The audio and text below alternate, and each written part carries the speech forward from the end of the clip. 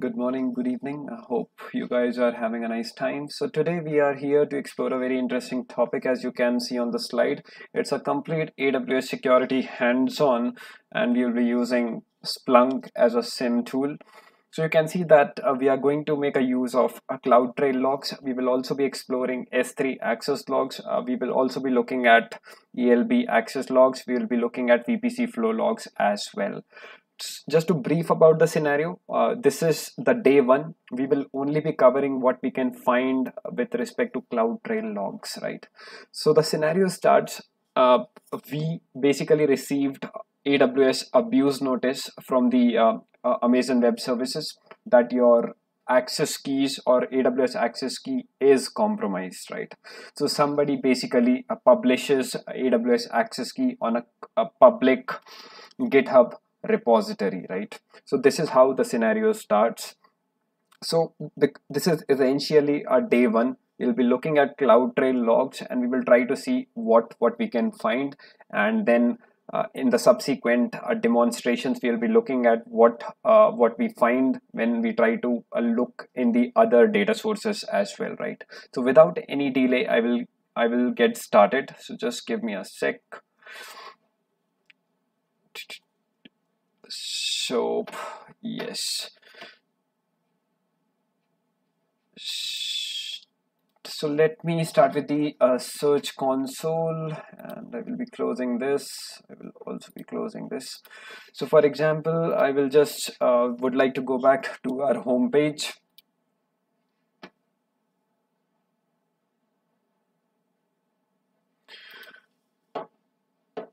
source type uh, or rather I would take my query from what I have consolidated so far. So the very first thing we'll be looking at so I will be explaining you all these stuff uh, no worries about that. Uh, since this is a static data set I will be interested in, in in all time and let's make a use of verbose mode only as of now so before I uh, make a use of the Splunk console, you know, I would like to uh, move on to the second slide. So as I was telling you that, uh, you know, you can refer these kind of the screenshots, you know, the very first screenshot at the uh, left hand side and topmost side, you can see that uh, somebody uh, publishes uh, basically the access aws access key ids on a public github repository and therefore you know the aws access key is compromised. And in the in the bottom side you can also see uh, how does uh, the aws abuse notice looks like. So to get started uh, with our scenario what we have is in the aws abuse notice now we know that what is the access key that has uh, been compromised right? So for example i can just uh, i can just make a note of uh, this particular access key id for the future purposes. Moving on to the splunk console.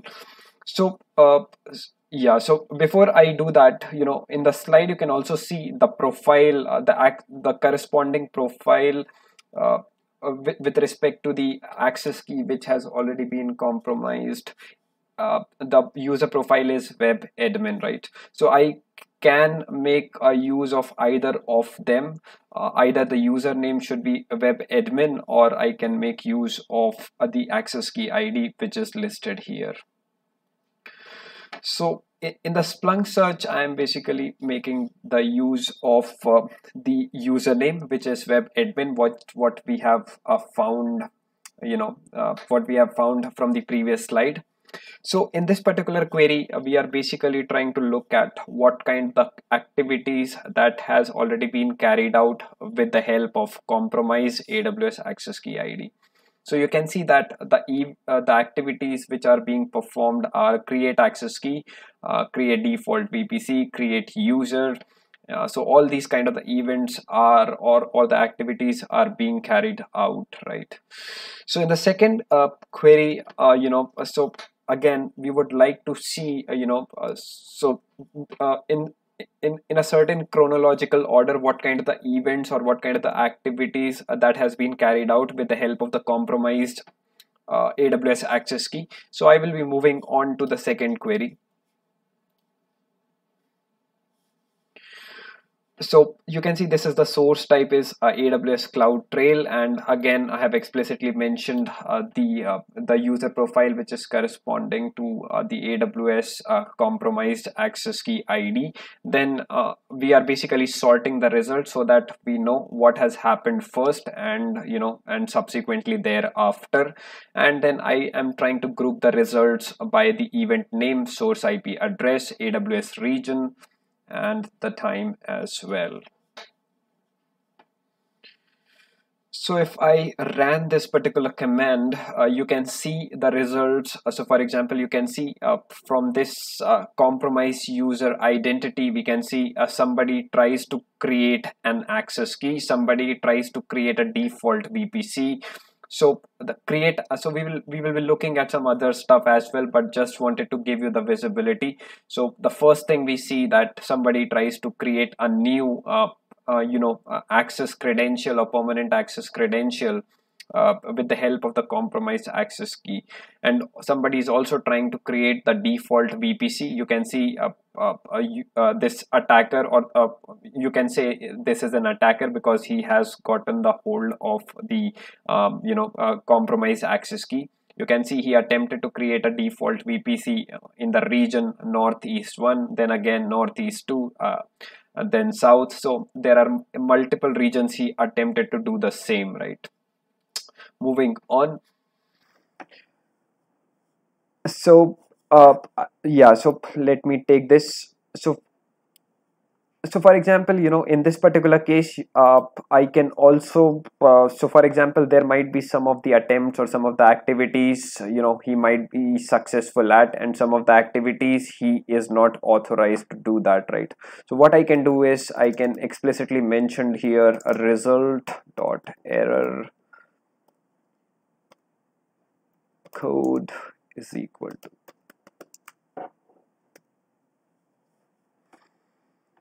so now I know that what are the events he has been successful at right? So or or else what I can do is uh, let's uh, sorry about that. Result dot error message so we would like to see uh, what are the events or what are the activities he has been successful at or what are the activities he is not authorized to perform with the help of the compromised uh, AWS access key ID. So you can see that he has performed, uh, he tried to uh, create a permanent credential. However, he is not authorized and similarly uh, at these uh, he attempted these activities and he is not authorized to perform this activity with the help of compromised uh, AWS access key, right? So I will be moving on to the another query. So, so I told you that, you know, uh, okay, so uh, just let me run this particular query and then, uh, you know, I will try to elaborate little more so what happens is uh, now I am trying to group the results for the previous query with the help of one more field. So you can see uh, I have included access key id right? So you can see the access key id right? So before i uh, i uh, i i elaborate little more i will go to the previous slide. So just make a note of the key which has already been compromised which is ending with upa so that we know that and you can see that uh, the access key id basically starts with ak so in aws anybody who has little bit of the knowledge of the aws might know that the permanent credential basically starts with ak and the uh, temporary credentials basically starts with AS right? So yeah so you can see here uh, because I group with uh, with the help of uh, the access key ID you can see uh, you can see uh, here that this is the permanent credential and and in the in the second row you can see this is nothing but the temporary credential right? So uh, this particular query because I try to group with the help of access key ID now we know what are the activities that are being performed by the permanent credential or what are the activities that are being performed by the temporary credential right? So just wanted to uh, give you a little bit of uh, that as well right? So now uh, we would like to basically know what are the events that are successful right? So so I will be moving on to the another query. So we base we are basically interested uh, we will be focusing or emphasizing on what are the events or what are the activities he has been successful at right? The attacker has been successful at performing. So let me run this particular query so you can see uh, the events the successful events are a get caller identity a little bit more on this event name and get session token right? So i will be giving you a little bit of glimpse of uh, of these two particular events. So let me uh, go to this particular event and let me also try to go to this particular event as well we'll start with the get session token. So get session token is one of the uh, command for creating a temporary credential. Uh, so the maximum expiry uh, of the temporary credential is 36 hours at most. You can explicitly mention 2 hours 4 hours as per your priority as well. So uh, so you can see the get session token right? So uh, user uh, so for example you can see uh, uh, this attacker with the help of the AWS compromise access key ID is trying to create a temporary credential. And if I were to see the response elements you can see the temporary credential which he has created so far ends with JQA and starts with ASIA right? So this is the temporary credential he has created so far. And in the last in the last query we have seen that some of the activities some of the unauthorized attempts with the help of this temporary credentials like you know creating vpcs and and something of that sort. So this is what i would like to elaborate uh, i wanted to elaborate a little. So you can see that he is successful at creating a temporary credential. You can also see the session token as well so for the temporary credential apart from access key and the secret access key you also have aws session token as well right? So moving on. So now i will be uh, showing you uh, you know the get caller identity. Just little bit of the elaboration on on that particular event as well. So for example if i expand this so when somebody invokes this particular command uh, get caller identity he's trying to he's trying to see uh, so uh, the attacker uh, the or the person who is in possession of this particular credential right is trying to retrieve some of the information. So for example you can see that uh, he's he has successfully retrieved the information. So what is the aws account id you can also see uh, what is the user identity arn so therefore the uh, the IAM user as well. You can also see the user id right? I will be moving on to the another query. Uh, yeah so I think I have given you a little bit of the hint of get caller identity, but just again, uh, you know, would like to make things a little more simpler okay.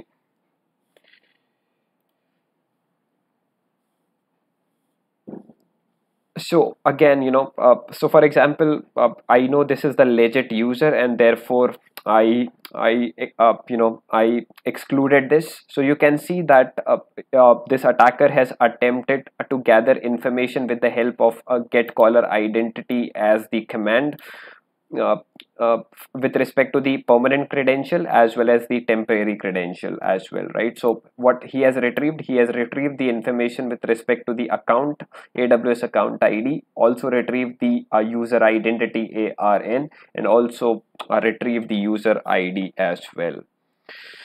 So moving on uh, uh, so this is the primer for our subsequent videos but just wanted to uh, show you you know if somebody has uh, misconfigured an s3 bucket and you know make it public. And that wasn't the intention you know so you might want to look at this particular command as well. So so for example uh, what what we are trying to see here is uh, so I am interested in the events from the uh, event source which is nothing but S3 and I'm also trying to exclude the read only events which starts with describe list and get. And so for example uh, now here I have the event which is nothing but put bucket ACL so let's go into this particular event. So if i go to my current slide up you know so you, you you see that you know if somebody has made the bucket public and it was unintended uh, you know your CloudTrail logs should be able to help. And this is the basically the primer for the day two or the subsequent video where you know I will explore more uh, you know what has happened once the bucket has been made public. So now so for example now you can see that i have i am here in the event. So for example what i am interested in knowing is request parameters right? So what is the permission? Put bucket acl so when you try to look at the s3 bucket you need to look holistically uh, you know at three different uh, uh points you know. The public uh, public access block is one of the things uh, you should also be looking at S3 bucket policy and you should also be looking at access control list. So these are the three things which uh, which uh, together determines whether the bu uh, S3 bucket is public or not, right? So currently uh, you can see the request parameters and uh, so request parameters what we are interested in. so for example here if I go beyond yeah so request parameters i'm most interested in the permissions. What is the permission he has uh, uh, he has set on this or the user has set on this particular s3 bucket? You can see these are the permissions he has set on this particular s3 bucket and therefore the bucket is publicly exposed.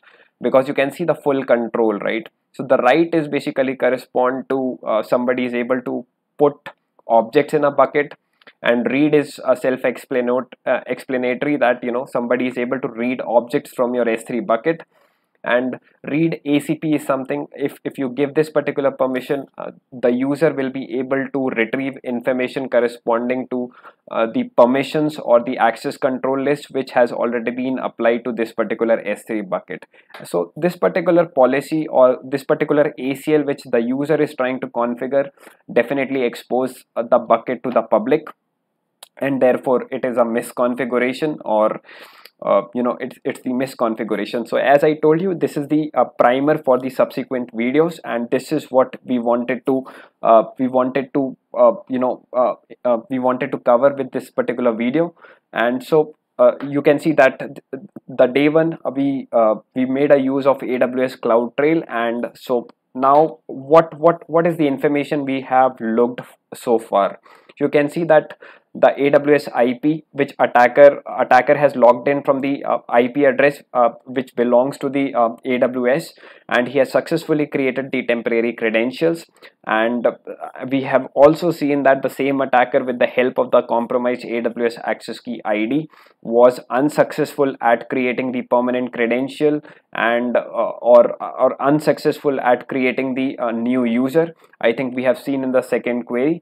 We also see that so many unsuccessful attempts at creating default VPC in different regions. And then we also explored about get caller identity where he tries to retrieve information with respect to the AWS account ID user identity and user ID so that is it for uh, for the current video. I hope you liked it. Thank you